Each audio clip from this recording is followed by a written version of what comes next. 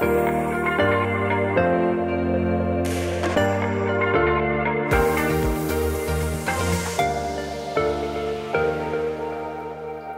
it's Gwen Fox. I am so glad that you're here and welcome. And if this is your first time, please subscribe. We'd love to have you. Now, I have a question for you. You are selling your work and you're working on being this, you're working on making money with your art. And somebody sees a piece of your art and they say, How much is that? And you tell them. And guess what? They say, Are you kidding? I can't afford that. Your paintings are just too expensive. Really? My paintings are too expensive. Well, this causes you to either do, well, what would you like to pay for it? Or it causes you to stand your ground. Because number one, if your painting, if you are sure about your painting's price, you're going to stand your ground and you're going to stand it in a very gentle way. You're going to listen to what they say. Now you've got to remember, not everybody's going to like your work. Not everybody's going to want to buy your work. Now, people may want to buy your work for cheap, cheap doesn't make for good conversation. There is something to be said for in the, the integrity of who you are and the integrity of your price. And you best believe that your prices are perfect. You are comfortable with not only the price, but you're comfortable with the painting being that price. That having integrity. And let me tell you, your collectors are going to really, you're going to want to do this for your collectors but let's do some pros and cons here. Let's say that you that you give in and let's say you charge for what you're worth. So, if you give in, what does it do for you? It uh, what does it do? It you've broken your boundary. It breaks your boundaries. And once you've broken that boundary, they are in control, not you. You need to be sure of your price and be comfortable with it. This is the short game. Giving in is a short game. And this is not where you want to be. But now let's say that you need the money, that you you you haven't sold in a long time. You would love to have a sale. You would love to say that, oh yes, I sold at that show. Let's say that you are in need of money and they want to buy this, but they've said, oh no, it is way too expensive. So what do you do?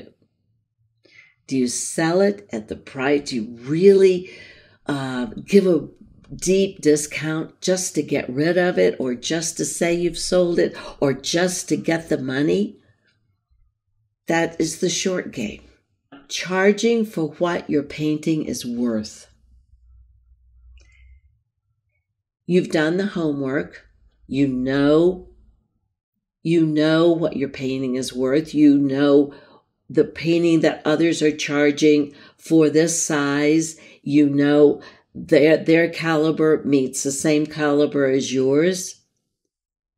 So you have, you are comfortable with the price. This is important because when you're comfortable with it, you can say it with conviction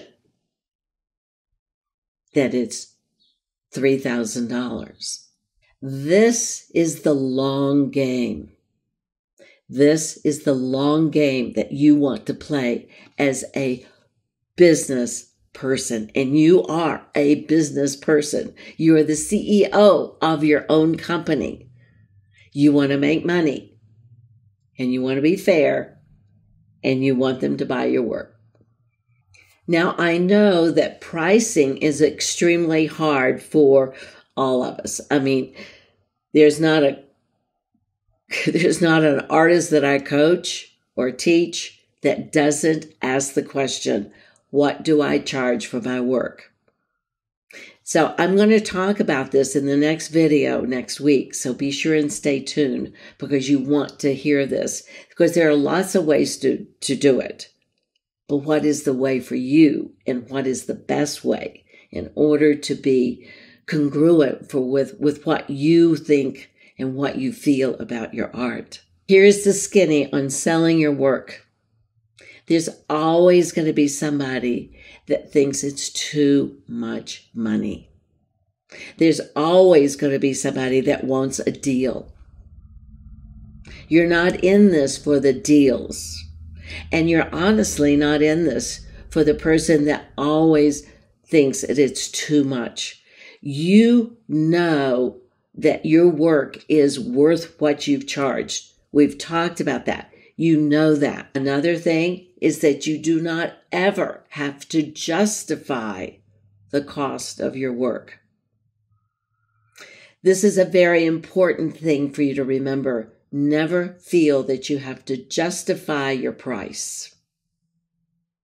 You don't have to say what it's put on, that it's professional. You can if you want, but that would be information. But don't ever do it to justify to make it make yourself feel better and make them feel better. If they ask what is it on, that's fine. As I said, cheap does not make for good conversation. And if you start out really cutting your prices, you will never get out of that habit. Now, there's one thing that really, really, really irritates me, and that's seeing starving artists sale. Starving artist sale? okay, you're a starving artist and now you're having a sale on the on the paintings that you were selling as a starving artist, which is very little, and you're having a sale on that? Really? I can guarantee you one thing. Somebody's going to walk in and they're going to see your nice big painting that you have put $50 on, and they're going to say, hmm, will you take 45? There is the integrity part that is super, super important. Your collectors depend on your integrity. You want to have integrity. It is your business for the long haul. So when somebody says it's too expensive, you just accept that and let them talk. They may talk themselves out of it being expensive. But you need now if you want to give a 10% discount, that that's great. But don't go any lower than that. This is your business. And you need to treat it as a business. I hope this has helped. I want you to feel confident in yourself when you give the price. I want you to say it with confidence because it is your painting and it is worth it. So go out there and do it. Leave a comment below and let me know if you have problems stating the price. And I love, love to hear your comments. So I will see you in the next video. Bye.